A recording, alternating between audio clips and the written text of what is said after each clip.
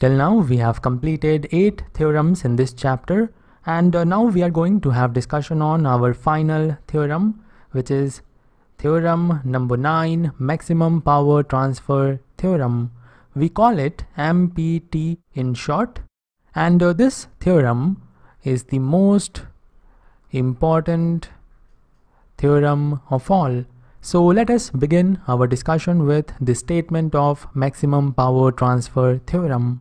To obtain the maximum power from a network, the resistance of the load must be equal to the Thevenin's resistance of the network. This statement is very simple to understand. In order to have the maximum power from a network, the load resistance connected to the network should be equal to the Thevenin's resistance of the network. RL should be equal to RTH.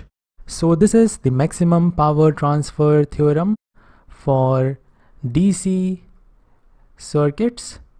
In the coming lectures, we will understand the maximum power transfer theorem for AC circuits.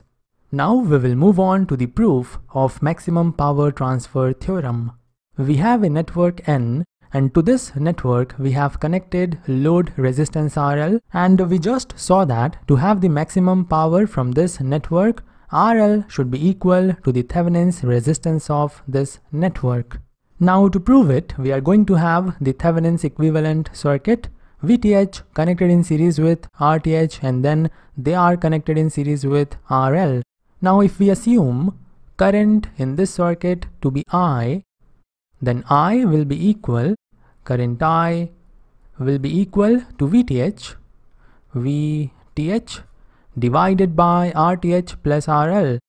Now moving on to the next step, we are trying to find out the maximum power transferred to this resistor and for that we will first find out the power transferred to this resistor. Let's say the power transferred is P and this power will be equal to the square of current flowing through RL multiplied to RL.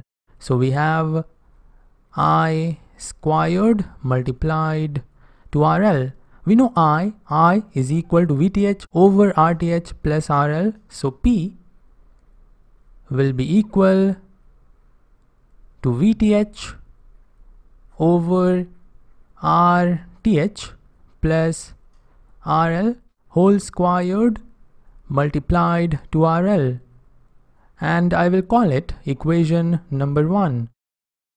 Now the question is when this power is going to be maximum. For this, understand what will happen to the power when we change RL. When we increase RL, power will increase. But when you focus on current I, you will find increasing RL will reduce the current. And reduction in current, reduction in current will reduce the power. So initially when you increase RL, P will increase and for one value of RL, P is going to be maximum and after that when you keep on increasing RL, P will start decreasing. So when we plot the characteristics curve for P versus RL, we are going to have something like this. With increase in RL, P is increasing then becoming maximum and after that it starts decreasing. And we are interested in the value of RL for which P is maximum. When you focus on this curve, you will find at this point P is maximum and the corresponding value of RL is what we want. We want to find out this value of RL. And uh, let us say that the maximum power is P sub max. Now when we are having the maximum power, the slope of the curve is 0. You can draw a tangent to this point and you can see that the slope of this line is 0 and we know the slope will be equal to the derivative of p with respect to RL and it is equal to 0 when we are having the maximum power. So the idea is now clear to find out the maximum power and the corresponding value of RL we are going to differentiate P with respect to RL and then we are going to equate the result with 0. So let us focus on our equation number 1 now. we can write P equal to VTH squared VTH squared divided by RTH squared over RL plus twice of RTH plus RL. We can write equation 1 like this. Now we have two options. We can differentiate this with respect to RL and then equate with 0 or we can differentiate the denominator with respect to RL and then equate with 0. We are going to get the same result in both the cases. Why? Because when P is maximum, the denominator is going to be minimum. And like for maximum value, for minimum value also the tangent will have the zero slope. So we are going to take the denominator, we are going to differentiate and then equate with zero. Now when you differentiate RTH squared over RL with respect to RL, you will have negative of RTH squared over RL squared. You will have negative of RTH squared over RL squared. When you differentiate twice of RTH with respect to RL, you will have 0. And when you differentiate RL with respect to RL, you will have 1.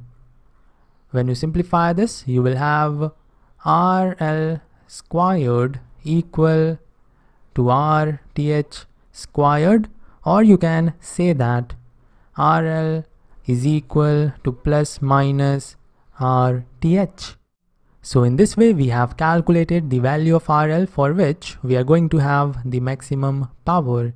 This will give us the maximum power and now we can replace this question mark with the value of RL which is RTH.